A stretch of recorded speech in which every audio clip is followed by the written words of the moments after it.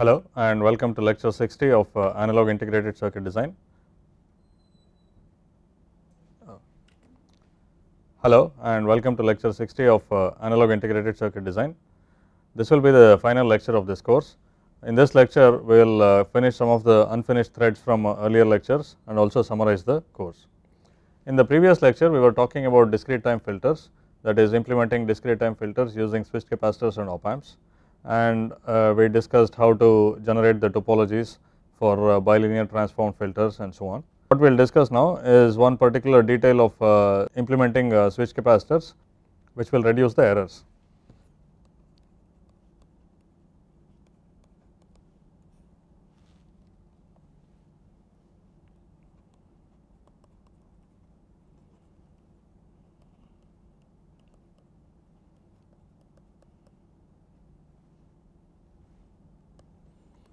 We know that uh, a switched capacitor filter consists of uh, units like this.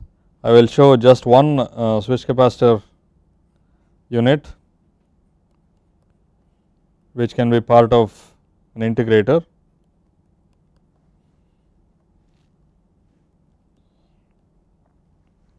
And let me label these let us say phi 1, phi 1, phi 2 and phi 2. Okay. Now, in reality these switches will have to be implemented using MOS transistors. So,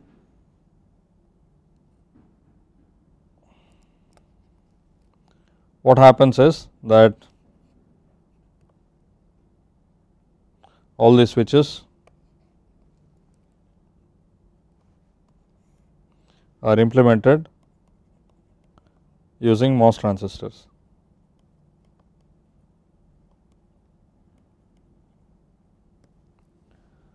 Now, we know that if you have a MOS transistor switch and the switch will be on if this VGS is sufficiently uh, higher than VT. Okay.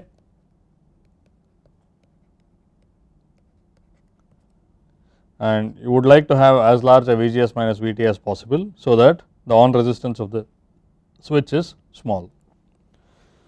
So, if you have an NMOS transistor to turn it on you would tie the gate to VDD and if you have a PMOS transistor you would tie the gate to 0 volts or ground. Okay.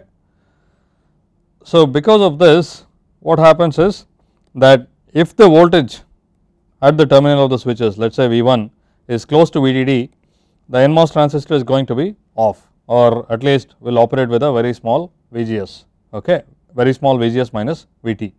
So, that means that the switch resistance will be rather high. Okay.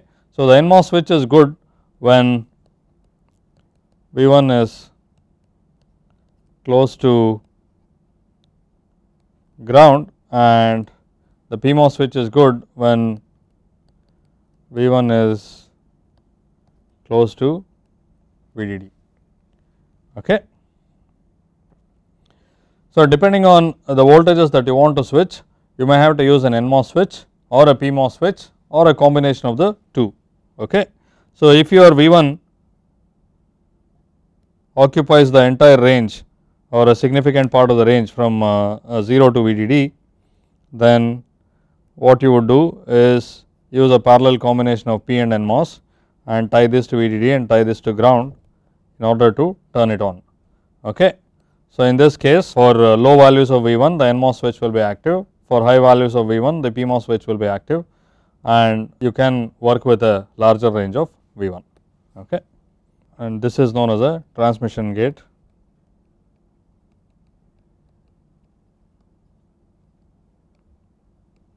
switch. Okay. Now, typically what happens is that will as usual have a fully differential implementation and this point I will show a single ended circuit for simplicity, but this point will be at the common mode voltage of the op amp, the input common mode voltage of the op amp okay and these things will be connected to common mode as well. Okay. Now, this uh, switch the first switch here is connected to the input Vi. So, it has to handle the voltage range that is occupied by the input voltage. Whereas, if you look at these other switches they are connecting uh, this point to the common mode voltage. Okay. So, they do not have to handle a large range of uh, voltages. So, typically this has to be a transmission gate switch and these can be single channel switches and if the common mode happens to be closer to VDD you would use a PMOS switch and if it happens to be close to ground you would use an NMOS switch. If it is in the middle both are equally bad, but an NMOS may be better because of its higher mobility which means that it will have a lower resistance. Okay. So, that is one particular practical aspect in implementing these uh, switches. Now, when you implement these with uh, MOS switches, I will show single channel switches everywhere just so that the diagram is simpler, but it is understood that the input switch is usually a transmission gate switch.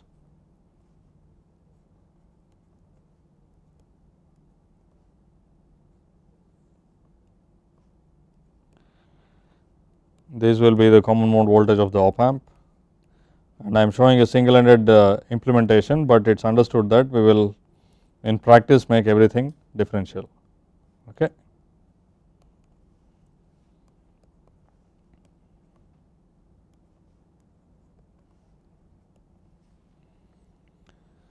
Now, whenever a MOS transistor switch is on that is let us say an NMOS transistor whose gate is connected to VDD. So, this is on it will have a charge whose magnitude equals the gate capacitance times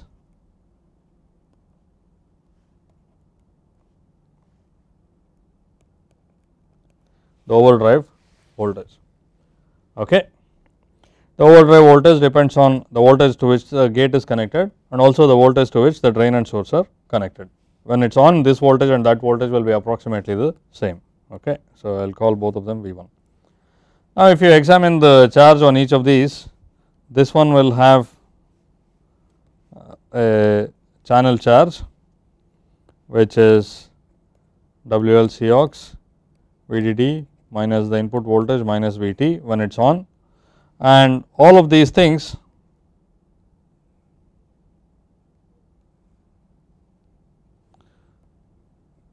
will have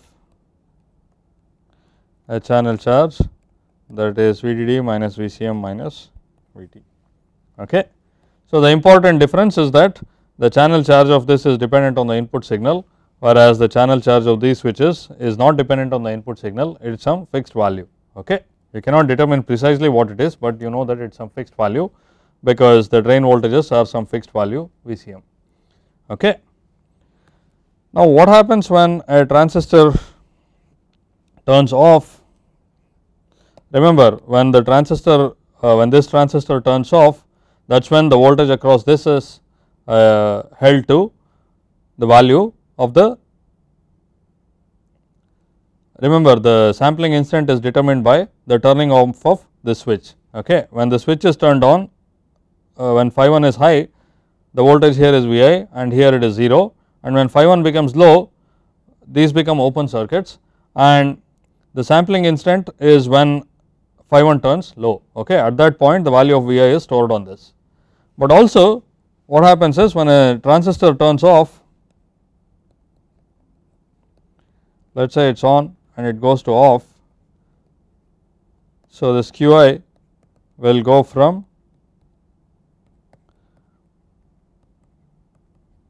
whatever value it had to 0 okay.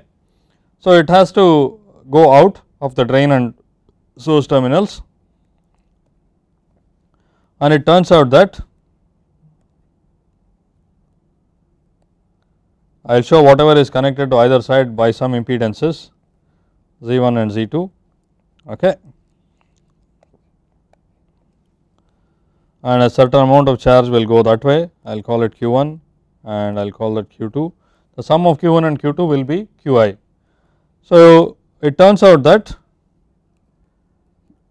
the part that goes out as q2 will be much smaller than q1 if the impedance Z2 is much higher than Z1 okay. So, the bottom line is charge tends to flow into the side which has a lower impedance connected to it okay.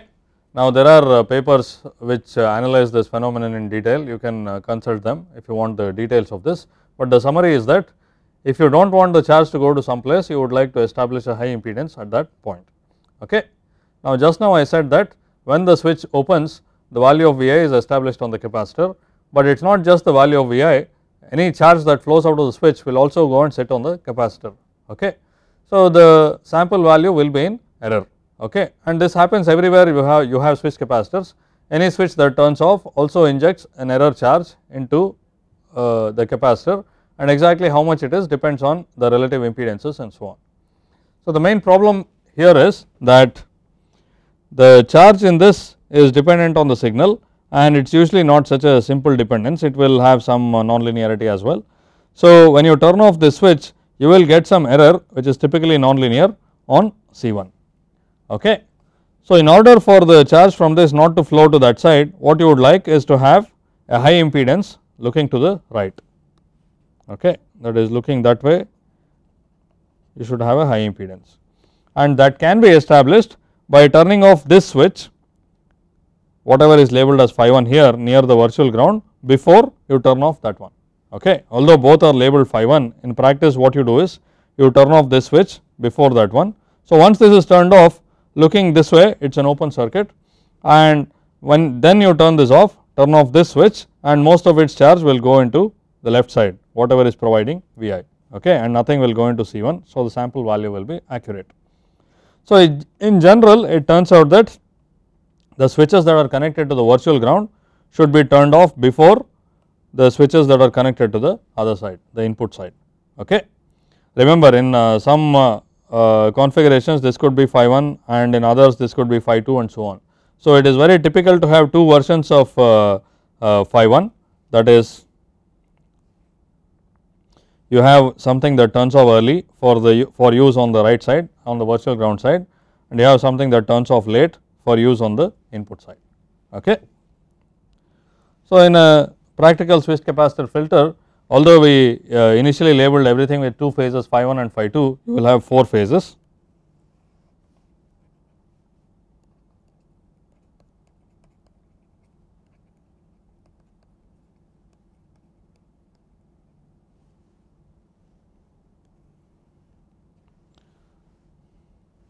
Now, first of all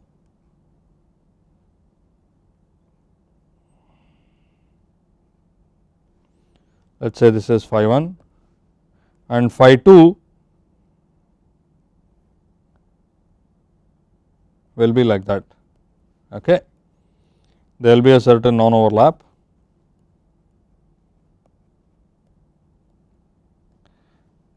and this is required because you see that this is phi 1 and that is phi 2 if uh, the two are on simultaneously it will short circuit the input okay so, that is absolutely unacceptable. So, there has to be overlap between phi 1 and phi 2.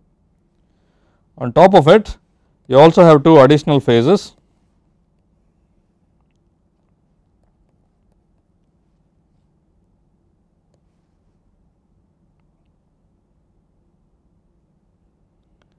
I will show it as smaller than the other phi 1 let me call it phi 1 e and similarly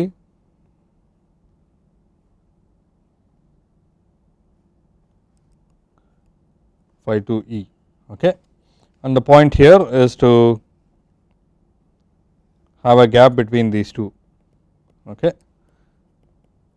phi 1 e turns off before phi 1 and similarly here phi 2 e turns off before phi 2 okay and this is used for the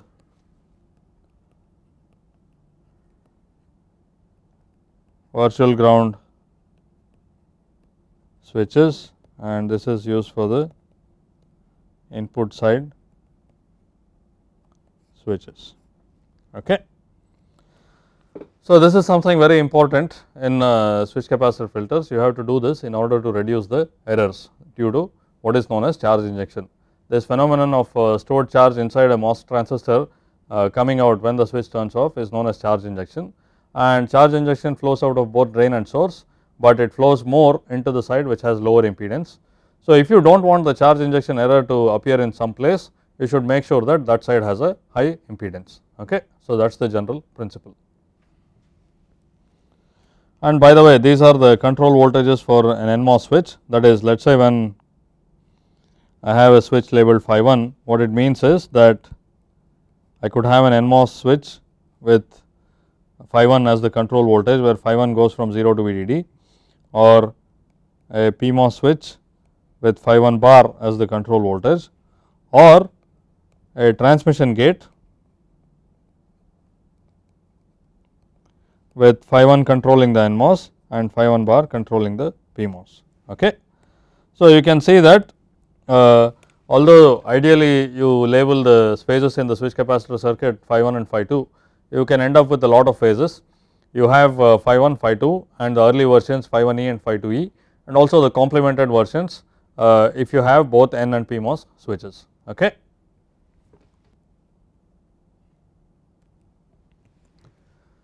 So, that brings us to the end of uh, discrete time filters.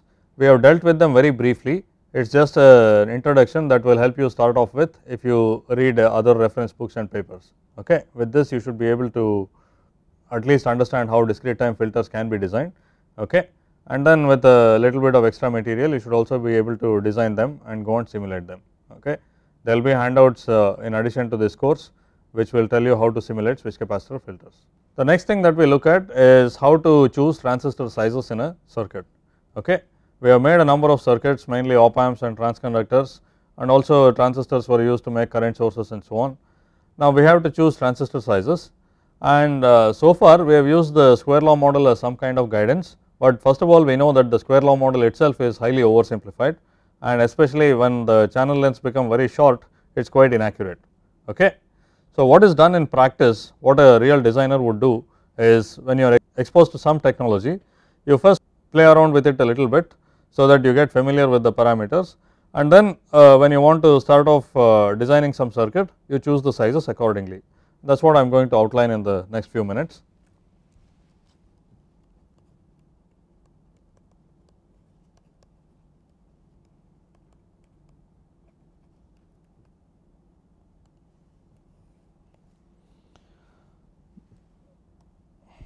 Now, the square law model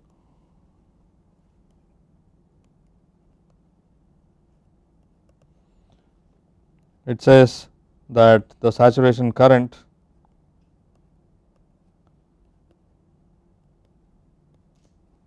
okay.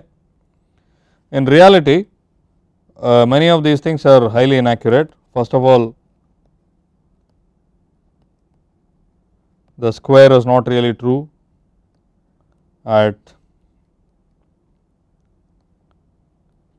short channel lengths and also ID is proportional to W. This is uh, more or less true when the transistor width is much more than the minimum width given in the given technology and this is usually true for analog circuits. But this the inverse proportionality to L this is not really true okay. It is true that ID increases if you reduce L, but it is not true that it is exactly in inverse proportion. Okay.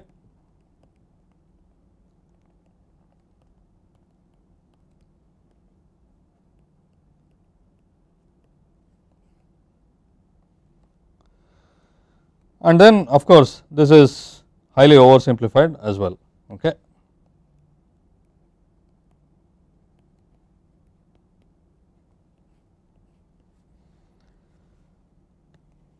So, what should you do? What you must do is essentially calculate uh, GM and other quantities of interest for a transistor using a simulator over a range of bias currents okay and this is something that you have to do anyway initially when you are exposed to a new technology you do this so that you get familiar with the possible uh, parameter ranges and then you choose the transistor sizes properly okay. Now what parameters are we interested in usually GM is of primary interest because in uh, analog circuits you have uh, gain to be GM times RL in a common source amplifier or GM by C as the unity gain frequency of an op amp and so on. So, GM is definitely of primary interest. Now, another quantity of interest is GDS or uh, many times you can think of GM by GDS which is the inherent DC gain of a transistor. This appears as DC gain of op amps and so on when it is loaded by itself okay that is when it is not operating with an external load. So, that is another quantity and also you have to be worried about uh, swing limits that is headroom issues. So, VGS minus VT and the absolute value of VGS are other uh, quantities of interest because these will uh, uh tell you how much room you have uh, after allowing for these things for the signal swing. Okay. And finally, you have FT or GM by CGS as quantity of interest. Now, FT does not directly tell you what frequency the circuit will operate at, but it will only give you a guideline that is if you have a larger FT your circuit's uh, frequency of operation could potentially be higher. Okay. Now typically uh, data sheets that uh, tell you about a technology also list the value of FT usually a single number is given, but this is not very useful because that is evaluated with usually an unrealistically large value of uh, VGS and VDS and so on. So again you evaluate this with the uh, values of uh, VGS and VDS that are reasonable okay. Now, how do we go about doing this? First of all, you choose a channel length. Okay.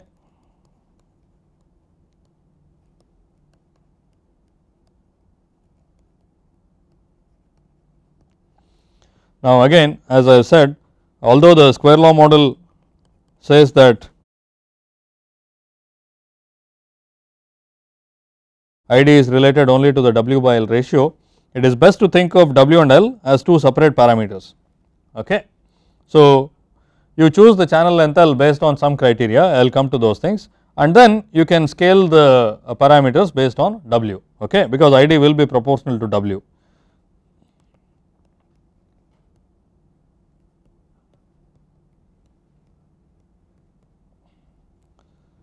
For instance, let us say you start with the minimum channel length in some technology. Okay. And then you bias at a given ID and determine many parameters let us say GM and GDS or GM by GDS which is an indicator of the DC gain and FT or GM by CGS and sometimes you may also be interested in GM by GMB that is the bulk transconductance. And also VGS and VGS minus VT and these are usually of interest for the swing limit. And then you vary ID over some range. And plot these parameters. Okay. Now, once you do this you will get an idea of how much GM you will get for uh, what ID and what is the kind of GM by GDS you can expect and so on. And this process has to be repeated for a different length. Let us say you find that the GM by GDS is rather inadequate, then you have to increase the channel length and do this. So, typically uh, what I would do and what I would recommend that you also do is you choose the minimum length and maybe twice the minimum length, 4 times the minimum length etc., and then list all these parameters or plot all these parameters versus bias current. Okay. And then you will get an idea of uh, what possible GMs you can expect. It also tells you whether you will be able to accommodate that in a given supply, okay, because you also plotted the VGS and VGS minus VT and so on. Okay. So, just to give you an illustration, let me write down the final step here.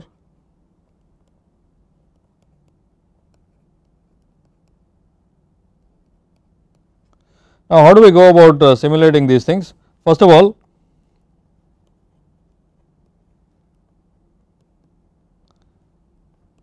you can bias a transistor at a given current using negative feedback. Okay.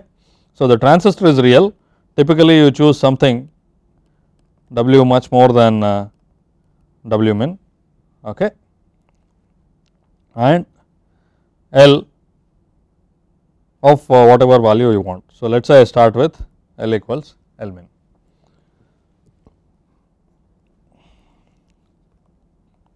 And I will bias the transistor at a particular VDS that I would like to have. Okay. The reason is that I could have done this as well.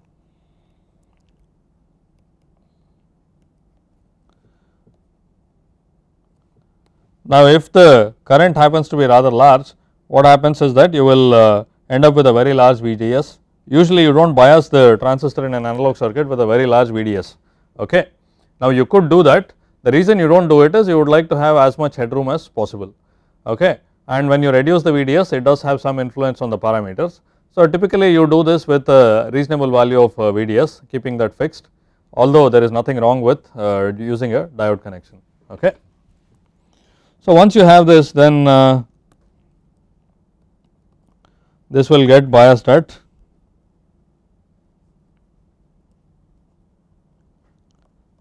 a drain current of I bias, VGS will get adjusted by negative feedback and let me call this VDS 0, VDS will be VDS 0 which you could choose to be a relatively modest value of let us say 0.2 volts or 0.3 volts. Okay. So, then depending on your simulator you could do various things. First of all typically the simulator will let you evaluate the operating point, simulate the operating point and report the value of GM. Okay.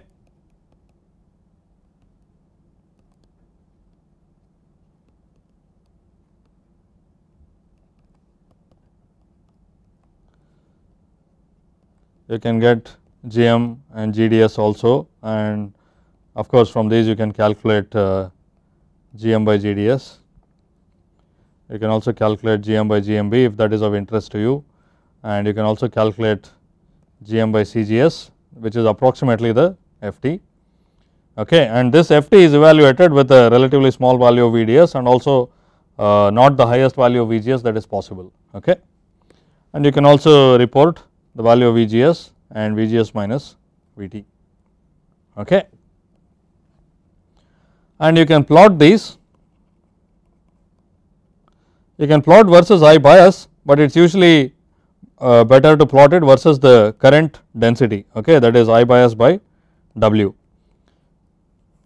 Because as I have said repeatedly all these things will scale right? If you double the value of W keeping the VGS the same and VDS the same you will double the value of the drain current you will double the value of GM FT will remain the same and so on okay. So you plot it versus the current density. Essentially this will tell you what current density to bias to get what value of Ft okay and then Gm and Id can be scaled from this okay.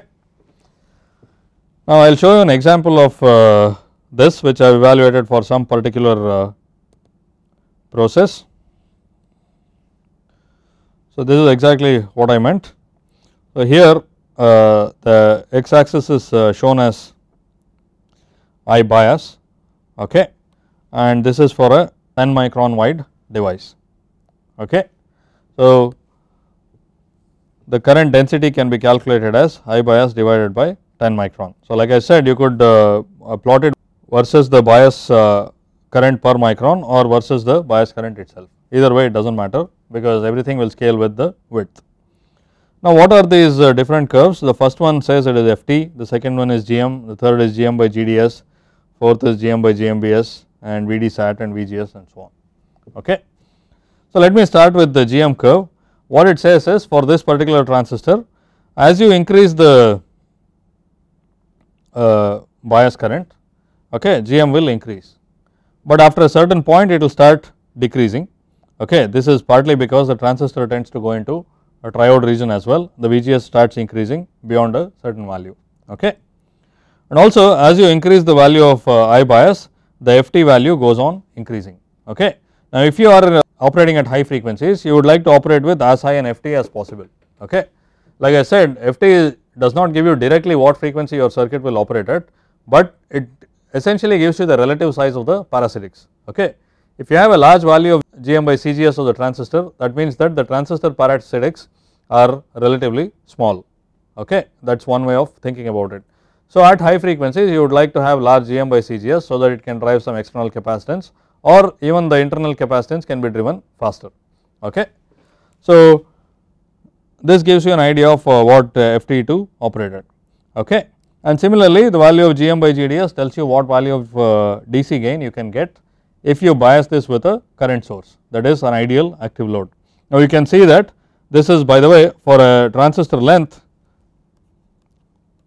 which is the minimum in this particular process which happens to be 0.12 micrometers and you can see that the maximum value of GM by GDS is only about 13 or 14 okay? And it uh, keeps falling as you increase the value of I bias. It is constant up to some value and then it keeps falling. This is again is typical. If you try to operate at a very high current density you will end up with a rather poor DC gain okay and GM by GMBS this tells you how much the influence of the back gate is. This may be of interest in uh, cases where you have body effect. In this case the GMBS is rather small compared to GM. Now the other important things here are the VDSAT and VGS. Okay. So what do these things tell you? Let us say you choose the peak of the FT curve that is you choose to bias it at 2 milliamp for 10 microns. Okay. That is you choose to bias it at 2 milliamp for 10 micron width and this part is 10 micron because that is what I have simulated okay. In fact, a better way of thinking about this is to think of it as 200 microampere per micron width okay. So, it looks great because you get the highest GM by uh, CGS that is possible, but if you look there at uh, 2 milliamp the VGS value can be as high as 0.9 volts or so okay. Now that may or may not be acceptable for you. By the way you see there are uh, many curves here there are 3 green curves and 3 red curves okay.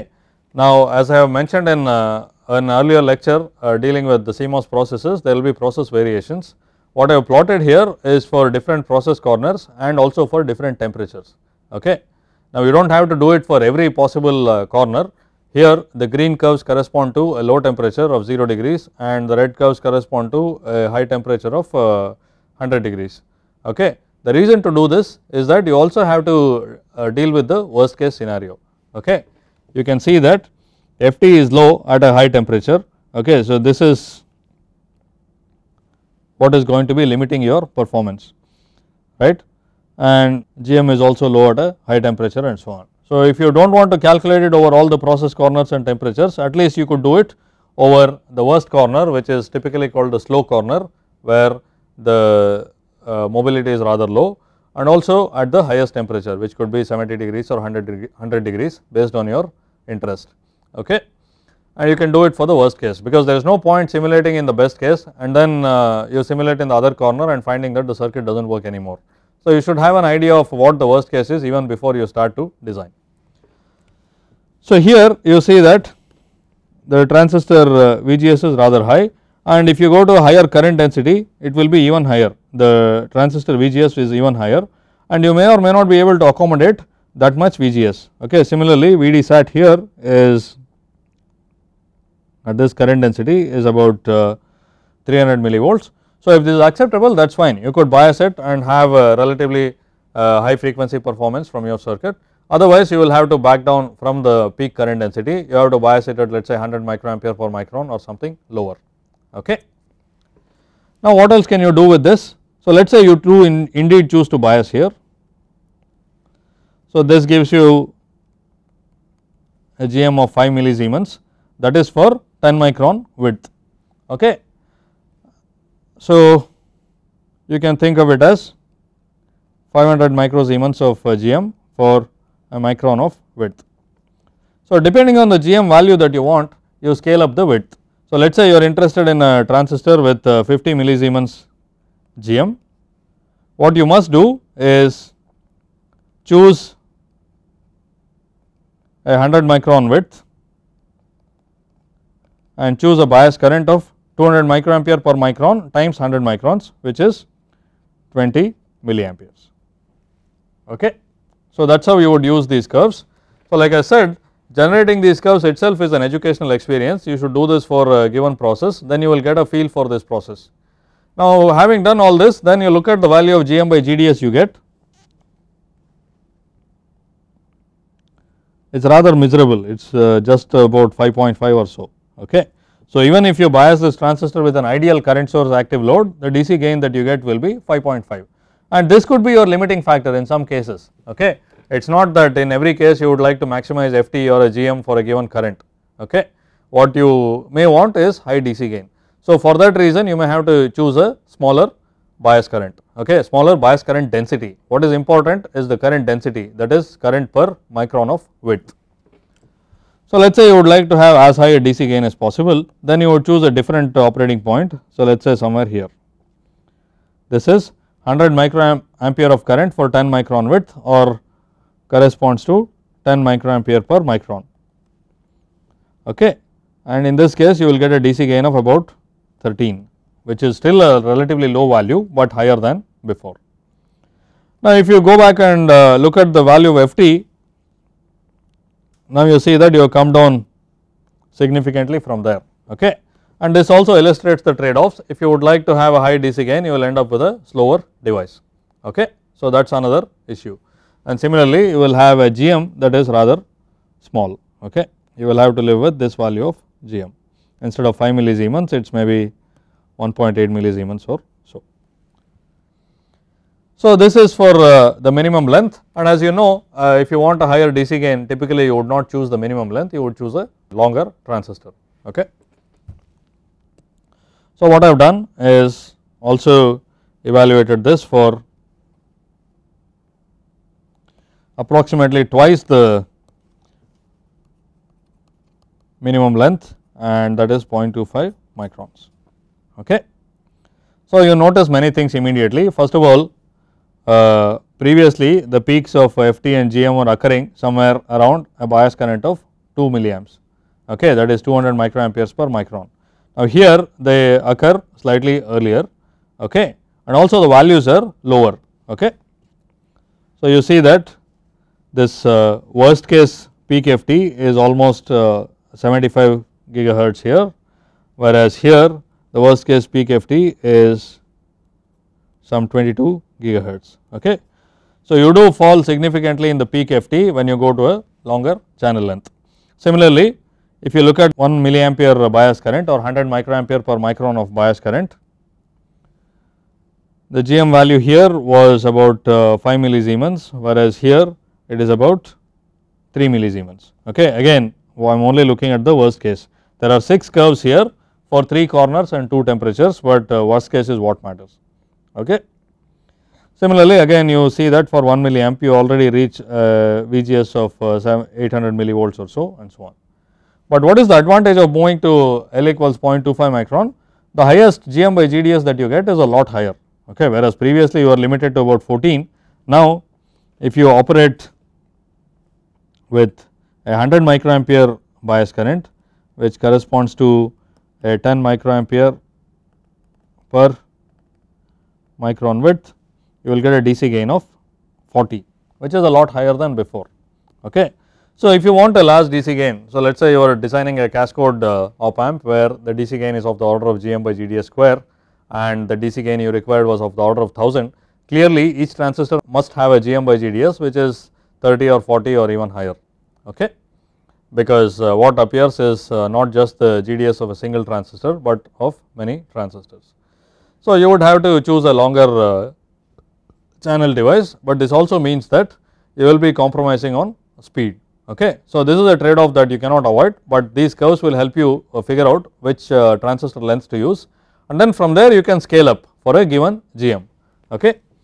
So let us say you have decided to operate where the GM by GDS is around 40 that is 10 microampere per micron. So that means that you will be operating somewhere here. So this is let us say this is about 1.5 uh, millisiemens it is a little less than that but I will approximate it to 1.5. So I have uh, 1.5 millisiemens for 10 microns of width okay. So that is 150 microsiemens per micron width. I would like to keep the same DC gain GM by GDS, but I want a higher GM let us say to obtain the desired uh, unity gain frequency in an op amp. Then so let us say I wanted uh, 15 millisiemens. What I would have to do is use 100 micron width okay because I have to scale this up by a factor of 100 and I also have to scale up the current density by a factor of 100. I am operating at 10 microampere per micron and I have to operate this at uh, 100 times higher current that is 1 milliamps of ID. And at that point my VGS minus VT will be around 150 millivolts which is usually a rather acceptable value and you can comfortably bias the op amp. Okay. So, this is how you would use these uh, sort of cheat sheets right. Now, if you look at the literature there is something known as the GM by ID methodology and it is something similar what you plot there is just the value of GM divided by ID versus the VGS or VGS minus VT okay. Now, you can do that but uh, the information that you will not get from there is the value of the inherent DC gain of the transistor that is information about GDS and so on. Now whichever you choose to use you have to generate these plots yourselves okay? There is not much point looking for uh, these plots for a given technology okay? It is only by playing around with the technology yourselves that you will get a feel for what the process can do and where to bias the transistors.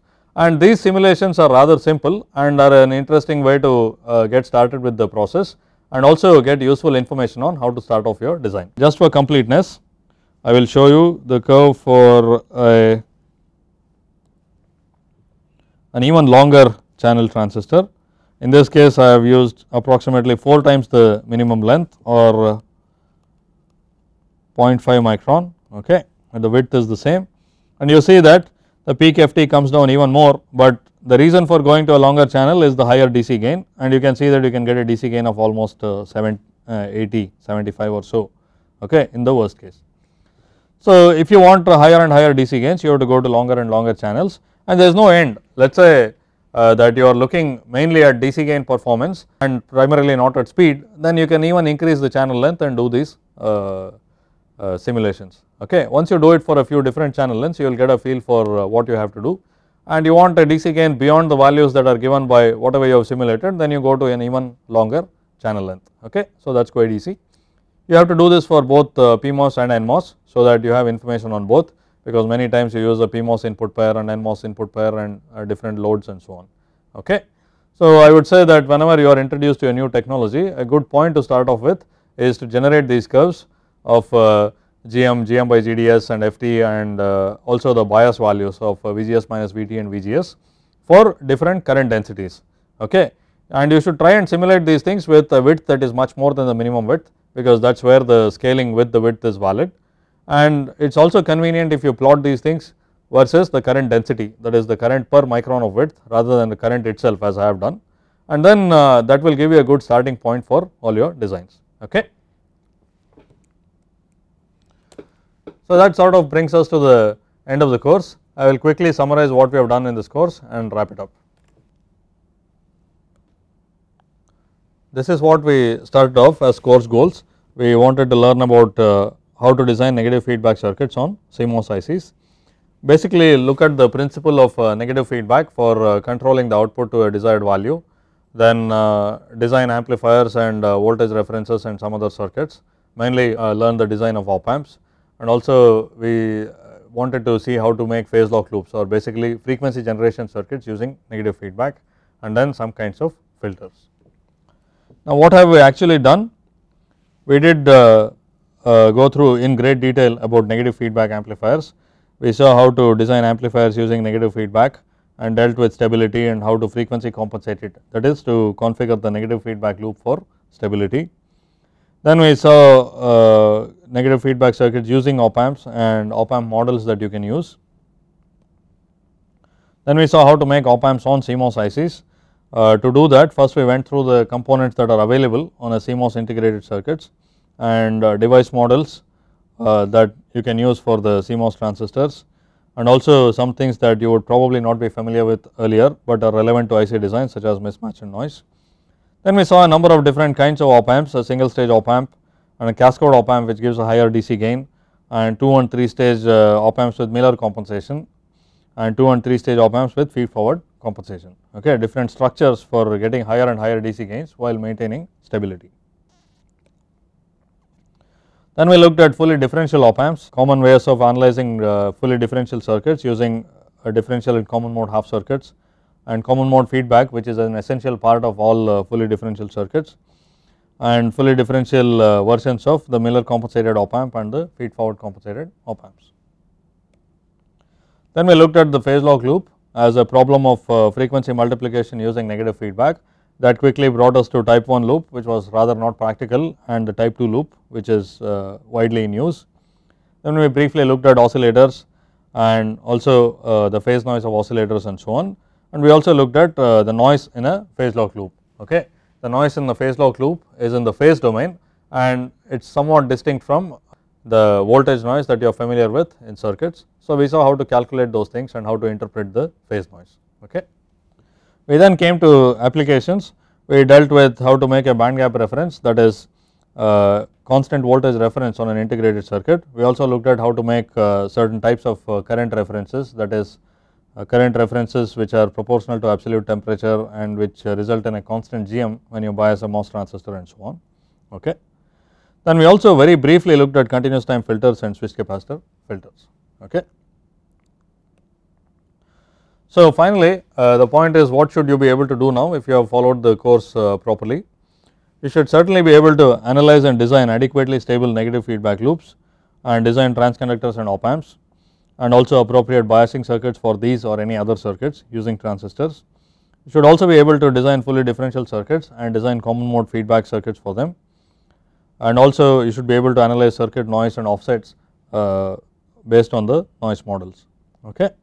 The type 2 PLL is something that we dealt with in detail. So, the basic type 2 PLL you should be able to do and uh, simulate in the phase domain. And if you come across other op amp architectures I think based on these you will be able to understand with a little bit of work and perhaps also understand other phase lock loops which may have uh, some more details and refinements, frequency synthesizers and clock and data recovery circuits which are a type of uh, phase lock loop used with uh, not a periodic input signal but with a random data input signal when you want to extract the clock that corresponds to the data. Here is some examples of circuits. This is a voltage regulator with a band gap reference. You should be able to in principle design this based on what you know so far and this is something that we have not dealt with at all a current steering digital to analog converter, but basically it is a bunch of differential pairs and again you should be able to design these things so that it works properly and feedback amplifiers of course and then the continuous time filter. So, the bottom line is uh, you should be able to do some design. So, besides the specific technical knowledge that you acquired for design you should be comfortable with uh, evaluating multiple options okay because there is no real one good option there are many topologies that different people have investigated which are suitable for uh, different contexts and in fact you may yourself find that uh, when you go from one process technology to another some topology is better than the what you used in the other process and so on okay. So, what you need is basically sort of mental flexibility. Uh, you should have multiple options uh, on your hand. You should also be comfortable with trial and error approach because you may not be able to analyze everything completely before you start off the design. So, you design it a little bit and see how it goes and come back and iterate and so on and multiple ways of uh, looking at uh, building blocks so that you understand them thoroughly. And you should also develop intuitive thinking and understanding and this is kind of related to what I uh, mentioned earlier. If you understand the same uh, circuit from different points of view, you also gain valuable intuition about its operation. And finally, the last three are uh, very important for design and especially for coming up with new designs that may not have been done before at all. Okay. First of all curiosity otherwise you will not be able to look at new things at all. You should be open minded that you should not be so rigid about uh, uh, some circuits that you have already designed you may you should be open to the possibility that there may be some other uh, uh, circuit that will work better in the given context. And finally, it should be thorough okay because many times superficially you can come up with a circuit idea, but you have to evaluate it thoroughly to see whether it really fits in with the application that you have in mind okay. Now there are other op amp architectures I will just mention the class, class AB output stage this is something that we did not deal with in this course it is mainly used when you have to deliver a very large load current. This is the op amp that we have discussed in the course in great detail, it is the 2 stage op amp. The single stage op amp is shown as a transconductor here and it drives the second stage. The main point is that the bias current of the second stage is fixed. So, if you have to deliver a large current, this I1 has to be more than that very large current. So, that leads to a very high quiescent power dissipation of the op amp. So, the basic idea behind the class AB op amp is to not use a fixed current source here, but use a current source that is dependent on the signal. So, if you have a large signal you make this current source large and if it's the signal is not there you keep it at a small value. Okay. Now, in our uh, traditional uh, op amp only the uh, gate of the transistor M11 received the signal. Now, M12 also has to receive the signal around a different bias voltage Vg12 okay you can't simply connect this to that one that will also lead to a very large current. So, there are many arrangements to do this, but one classic arrangement is what was publicized initially by Dennis Monticelli. It is a particular kind of uh, biasing circuit which uh, you apply the signal directly to the NMOS transistor here and it also gets uh, converted to the PMOS and it turns out that you can uh, adjust the quiescent current independently for the output branch okay based on this one and you can see the details in this particular paper okay. So, this is a particular op amp of uh, tremendous practical interest that you can look up in the references. Now, the basic principle is exactly the same as what we have done before, the output stage is different and the operation of that you can uh, look up from this reference and many other references in the literature. Okay. And these are some uh, general references you can use. This is a classic uh, tutorial on op amps which is still rather useful and this is about the class AB op amp and this uh, the third one is in particular about uh, op amps with multiple stages and then the last one is about feed forward op amps okay. So that uh, brings us to the end of the course. Now besides these there will also be a detailed handout on op amps and one on uh, phase lock loops that you can refer to okay.